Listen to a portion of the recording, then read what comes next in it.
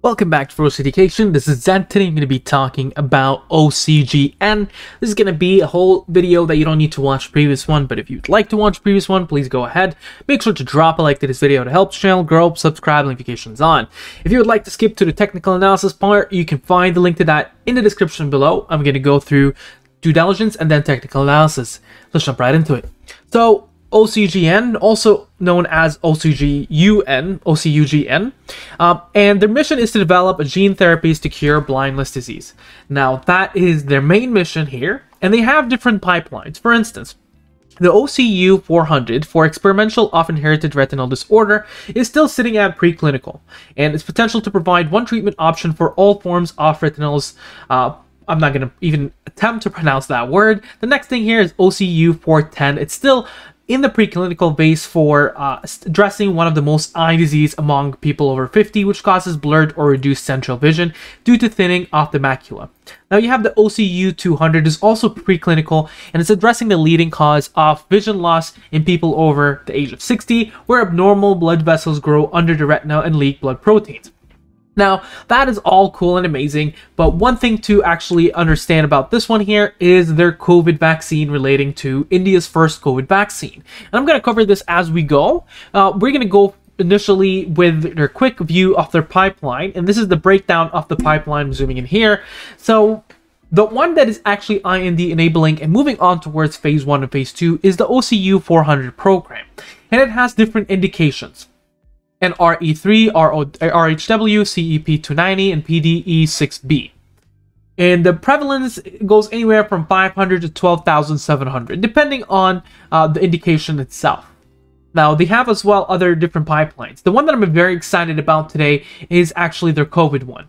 Before moving forward, I do have an updated one than this one here on the presentation and the SEC filing. We need to look a little bit into the SEC filing. What is the latest material that we have here? This is from December 28th. So the reverse split has actually been denied.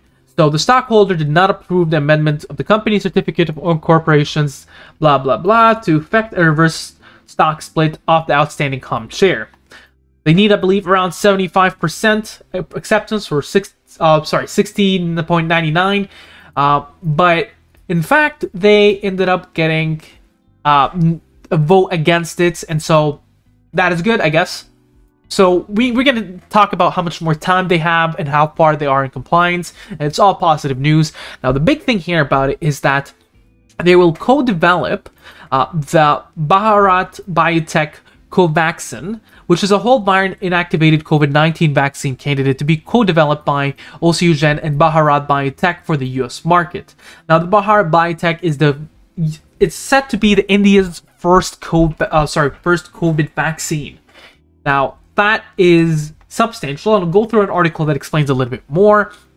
But basically, they are uh, on the same path, on regulatory path to approve it in the US market for a whole virion inactivated COVID 19 vaccine. Now, a virion inactivated COVID 19 vaccine is different than the mRNA vaccine. Uh, this is more of a traditional one that is basically an activated version of the virus. Next is their meeting that is relating to item 2 of the proposal about decreasing or increasing the number of shares. And here it is. The proxy amendment, including with this letter, uh, I'm going to try to zoom in here as much as I can. There you go. Uh, it included modifies the proposed amendment to the, sorry, to the certificate of incorporation by decreasing the proposed aggregate number of shares of our common stock that would be authorized to be from 500,000 shares to 400,000 shares, as amended to propose a number and uh, shares represented increase of 200, 200 million shares. Sorry, it's not 500, it's 500 million to 400 million, and it presents an increase of 200 million shares of common stock, etc. So they're they're asking for an increase, just the number is changing here. If you were to look back into the voting material right onto here. Uh, sorry, item 2 is right over here. Uh, item 2 is not even on here, my bad. But item 2 is around here, and they did mention they will adjourn back into it. Uh, initially, the vote was going to be er, late on December. It's moved on to January 13th, 2021. And the rest is just basically saying the same thing. Adjourn solely with respect to item 2 and item 2 to be modified to decrease the proposed aggregate number of shares common stockholders. So they're increasing from 500 million proposed to 400 million, which is from my understanding 200 million additional to what they have currently.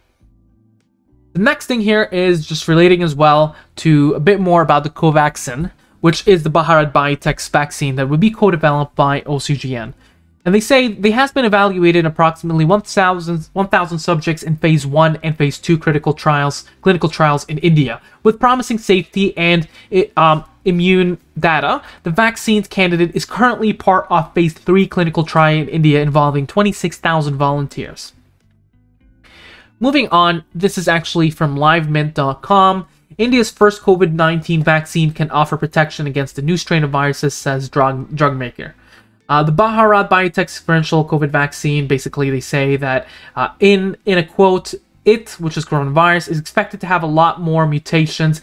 You can be rest assured that this vaccine will also protect against the mutated virus because of two hypotheses. So you have these two components in the active and inactivated virus and vaccine. It'll also take care of the, those mutations. Ella said he was addressing a virtual program organized by CI, CSIR India Institution of Chemical and Technology.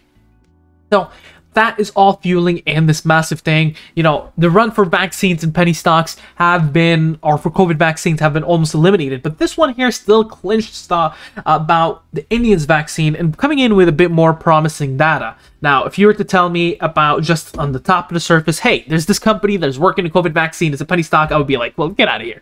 But this one here, it's working on a different kind of vaccine, not the mRNA. It's in phase three, so things are looking somewhat promising. And if it doesn't get approved here in the US, I do expect for it to at least get approved in India, and that will be as well a catalyst coming up for this one. Now, the next thing here is, yeah, so their delay from uh, December 23rd all the way to January for that annual meeting, or sorry, for the meeting for term two. Um, and regarding the compliance, they have until March 8th, 2021 to meet that compliance. Right now, it's January 1st, 2021, and Happy New Year to you all. So the thing we're talking about here is that the reverse split has been rejected. Their compliance even though they recommended to vote for reverse split, it got declined uh, for reverse split, and the compliance they have till March 8th, 2021. And as we talk about it, the pro it looks good, and I'll talk about it more in the technical analysis point of view. Before we go there, we can take a quick look into their presentations themselves. Um, already covered this one here in the pipeline. What I want to do quickly is go all the way down to the part where they talk about the timeline. And it's right here. So in the first half of 2021, publication in Nature for OCU OCU 400, and then tox study initiation in the second half of 2020, which we're already down cell banking. So we're going to skip to all the way one half 2021. Uh, expected orphan drug designation EMA for OCU 400, and then tox study initiation for the OCU 200. IND filing for phase 1 and 2A starts in the US for OCU 400 in the second half of 2021. For OCU 410, you get in the second half of 2021, you have FDA pre-IND MTG and the tox study initiation. And then you have the safety read for OCU 400, and the list goes on in terms of there. It goes all the way to 2022. And you get to see there is a bunch of different catalysts coming up. Quickly going on towards their last quarter, you get to see in terms of their total assets, we see a good increase, and definitely in terms of cash, we've doubled a few times over, I think almost 2.5 times more, and that is reflected by the total assets. Now, in terms of their uh, total current assets, that's a good increase. Now, assets held for sale, they have none there. Moving on, total liabilities, it looks like it's increased just a tad, nothing compared, nothing massive there. And if we were to go towards the revenues, of course, they are pre-revenue as of the moment, with the total current expenses sitting at $10.18 million. Now, in terms of their net loss, is around 10.4. Improvement from the 22 million, but the main, main part of that was change in fair value of derivative liabilities. That really changed it. Loss from operations, that has gone almost four times more, and that is what I want to focus on here. So let's say, okay, 10, 10 million on average off a loss. Their current cash held is around 19 million. That means sometime within the next two quarters, perhaps maybe even in the third quarter later on, they are more likely to create an offering. Now, in process research and development, that has increased a lot. So it's not something where I see general administrative costs has increased, but it's in the in process research and development. I could be wrong, and they could be uh, decreasing the total operating expenses back to two million, and that puts them off for a good amount of quarters, maybe years, in order to fix that kind of deficiency in their finances in the balance sheets. Now, a quick thing in terms of valuation, we get to look into the market cap. They have around $300 million in market cap, so keep that in mind. Now, in terms of statistics, I try to go on down here to try to find the price over book. Uh, I'm not able to find it right off the bat. Something book value, book value per share, uh, it's not there as well. So what we're going to be doing, and I said that before, uh, something I highly recommend not doing. I go, I went going on here on Finviz. These things are not always accurate, but price over share of this is true. It's ten thousand two hundred and seventy-eight, and the reason why this is it because they don't have revenue, so sales is almost null. In terms of price per book, which I'm more interested in, is eighteen thirty.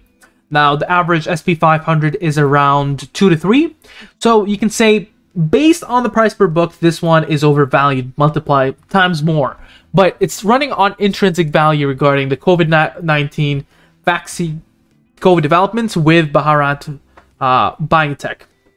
Now, the next thing here is the financials. The financials here, in terms of quarterly, we to see things that are actually looking in terms of operating expenses not so well in the last quarter. And so I might be wrong about that negative 10 million per se, but their oper- operating expense hovers around negative 4 million to 3 million.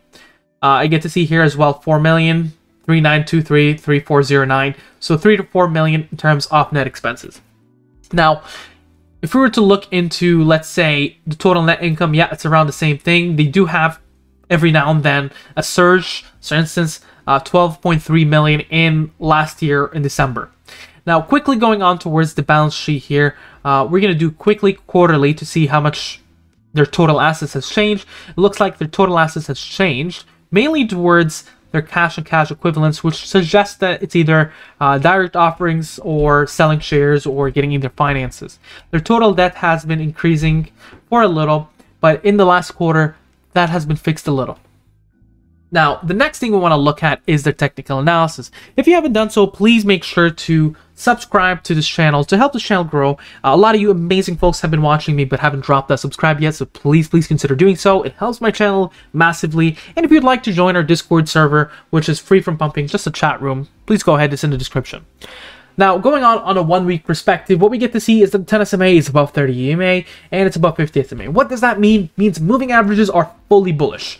Now, on the ADX, it's 3254 and that shows in a very strong trend, a positive trend. William percent R sits somewhere around neutral, MACD looks really good. Momentum is somewhat strong. It is still strong, it doesn't show traction, but it's slowing down in terms of momentum, rate of change. Now, on the one-day perspective, 10 SMA is above 30 EMA, the green line is above red line, which is amazing. 50 SMA is above the 200 SMA, which is amazing. Now, when we're looking into the trading action zones between 143 and 091, we expect if it drops all the way in that trading action zone, that's where reversals are possible. ADX showing it's slowing down a little. It's above 45, above 45 to 50. That's where I consider selling. So that is a warning sign on the ADX. William percent R is retracting a little. That's another warning sign. And when we're looking into the MACD, we're getting to see it's actually declining. And that is another warning sign for a positive negative reversal if we don't get any news. That is, uh, MACD is above the signal line, which is positive. Momentum is still positive, but it's not increasing yet. It's, it's retracted from the 231. Now, on a two-hour perspective, what we get to see here is things are looking a lot worse. Moving averages are full around bearish in the last trading day. The ADX shows in a sloppy movement, MACD, and everything around shows it went back to sloppy. Now, that in particular is not a bad thing when it comes towards their compliance, but if you're looking to make a profit, take a look into volumes. The drop in volume shows it might be trying to accumulate at some point in the next few weeks, but it doesn't look like it's running. And that, in terms of momentum, is not yet felt again.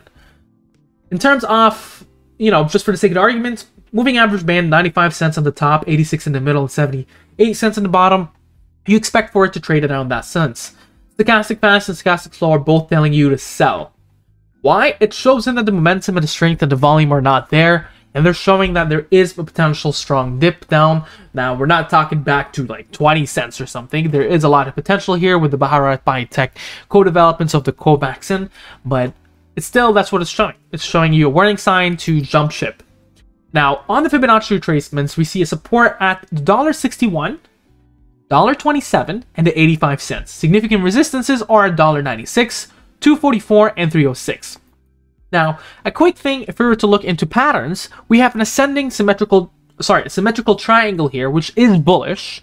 And we do expect that we're going to probably see another run from here based on this pattern here. But patterns don't always play through.